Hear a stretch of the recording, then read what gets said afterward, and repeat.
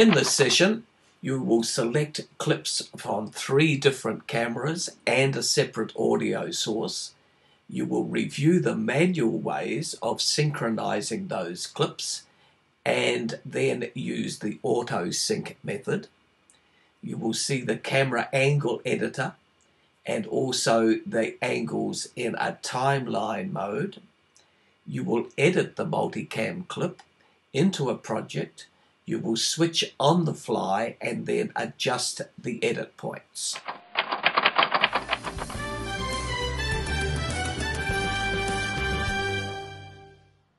So what we're going to look at now is multicam editing. We're going to look at selecting the clips, combining them together as a multicam, editing that into the timeline, and then working through that clip to switch between the different cameras. And in this particular exercise, we will have a separate audio track as well.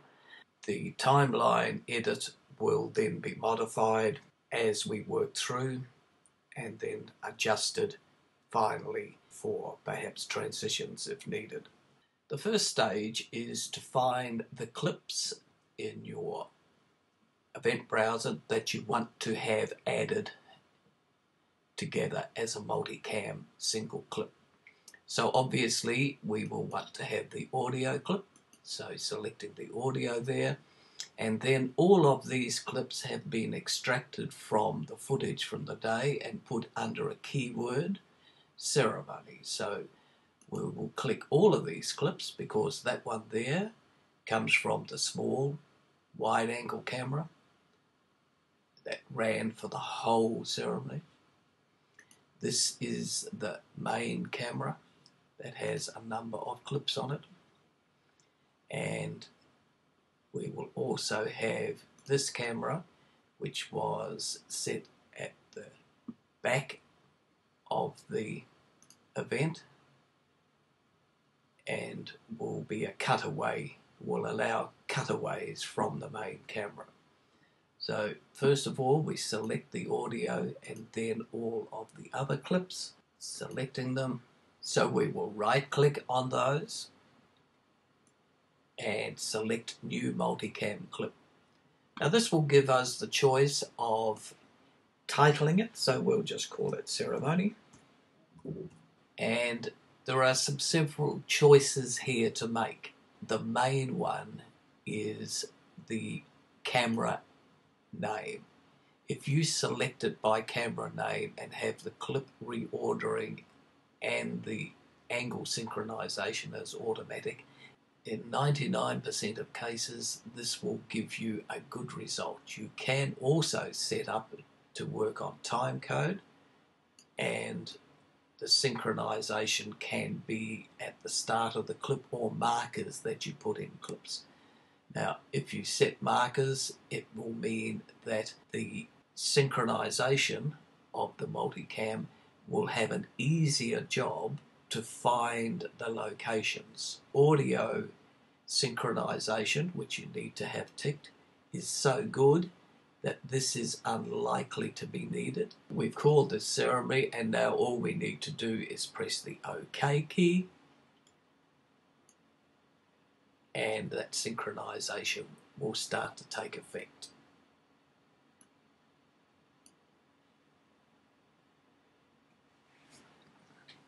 If we look here in the event browser, we will see that we have now a multicam clip, and this is a multicam clip with the four quarters.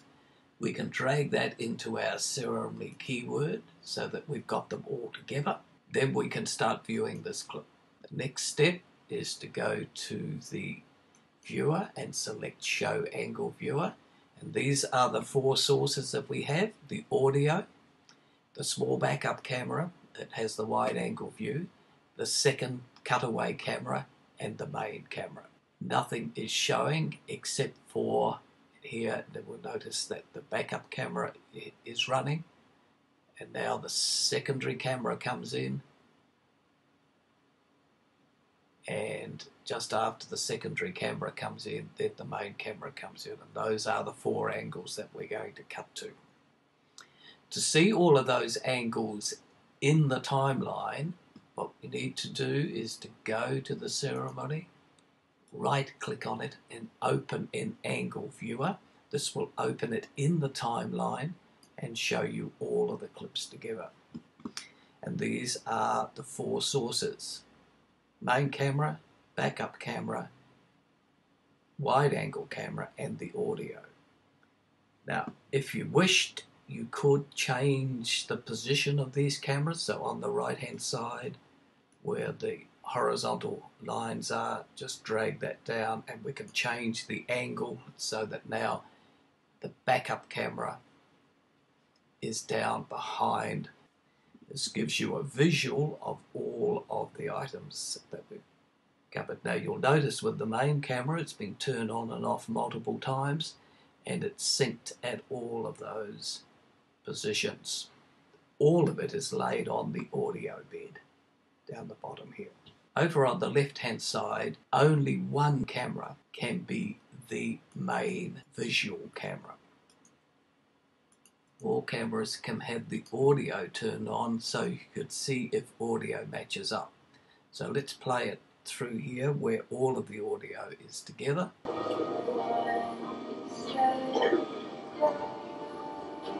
can see that all the audio is matched up there. We'll take it to where there's some vocals. And your as your partner, lover and friend. And live, can turn off to respect you individual cameras. honour you as So there's individual. And to be just camera one recording. To keep on track with the multicam edit, I won't show you at this point how to adjust all of the items in the angle viewer. We'll keep that for a separate tutorial. Once you've completed all the adjustments, you can come to the main clip and start setting up which camera will show first. And what we should be looking at here is the point where we want to start the whole edit. And so coming through here, we'll find that this here is to be our in point, and let's set the I key there to be the in point. We want to make sure that this camera angle, the one that's currently blue, is the starting camera, and the audio is always going to come from the audio track. To set the audio, setting this green audio button here, clicking on an individual track will make that the audio track. We can then go to the video selector and then each time we click on one of the camera angles that becomes the current camera angle. So blue for camera, video, green for audio. We've set our in point.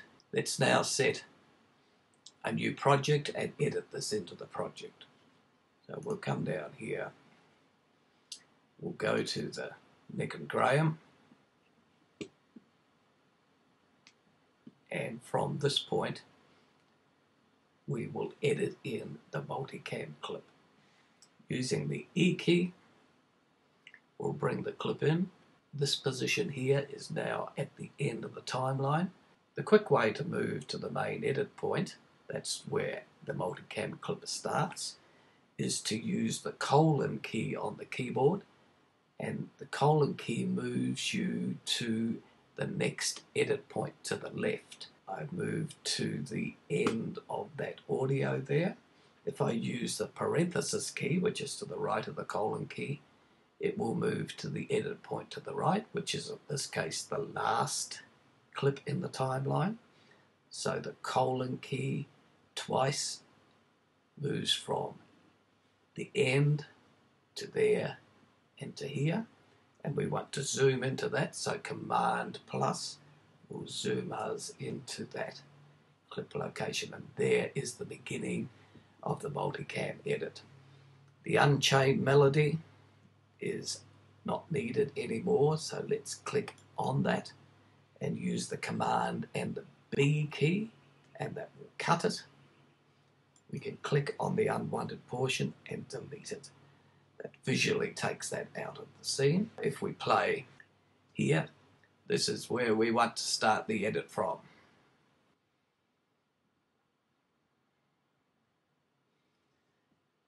Now, at this point in time, we still haven't seen any of the main camera come in. And there it is showing there now. So let's switch to that. And you'll notice that when I switch to that, the cursor changed to a razor blade. And you can see an edit point here in the timeline. The dotted lines represent the edit points. So some switching from the backup camera to the main camera. Now that's not exactly the point I want because see there's a person's head just there. So if we take the playhead to that point, we can move that edit point a little further along so that this, the switch is now from there to there and you'll notice that when you move the edit point you get a 2 up display to show you the two clips. So we might just take it to Ash when she walks off screen. And now we can continue playing from there by pressing the space bar. Taking the playhead up here, this is the currently active multicam clip and we're going to want to switch to one of the other frames at some point in time and probably we're going to want to switch to this one. And you'll see that's now become the current one. It might be nice now to have a look at the wide angle view and come into this one here, then onto that one there. You sort of get the idea. Now there's going to be a section there that really had nothing in it, this part here now. And so eventually we will cut that out when we get into the main edit on the timeline. So we'll want to start it from this frame, from now, then switch to this camera.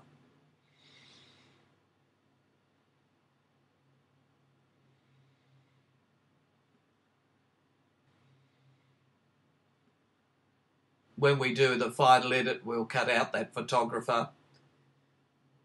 Uh, let's start the bridal entrance from now. We cut those out. Switch back to that one to avoid the zoom. Now, that zoom there, if we look, is there. So we can now go into the timeline it's assumed that the whole ceremony has been edited and we can go into the timeline now and start adjusting those edit points. Let's go through now.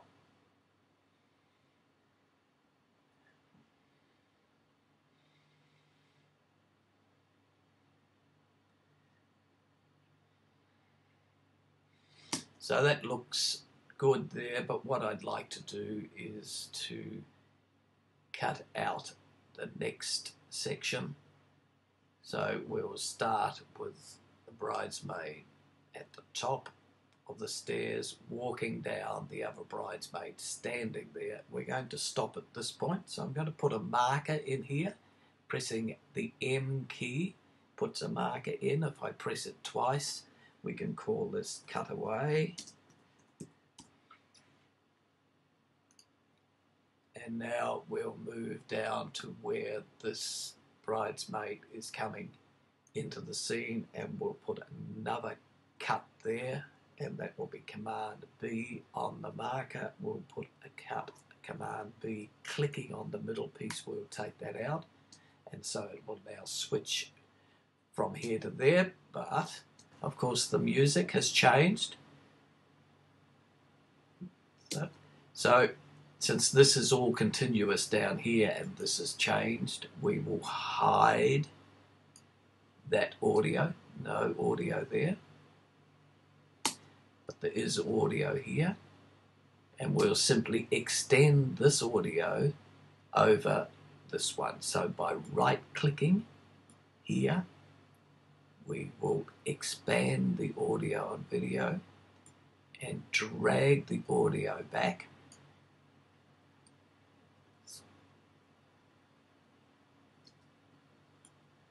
Just give it a fade in. And then at this point, the switch between the video has jumped. Now that would be a nice point to have a dissolve transition. So if we switch through it now, and so we'll just continue through there. That switches from that bridesmaid to show the other bridesmaids walking through into the crowd. This girl walking off camera. And then there's an empty section here that we can delete.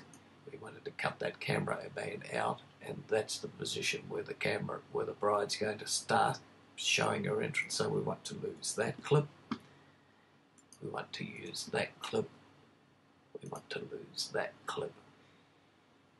So that we're mer merging from here.